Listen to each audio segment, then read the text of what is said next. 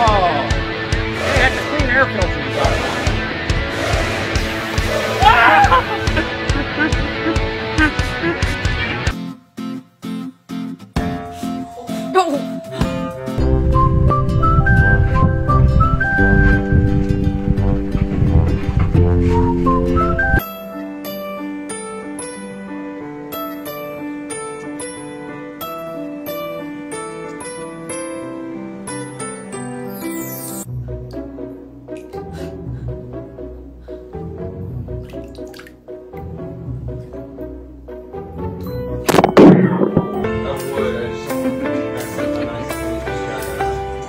Ow!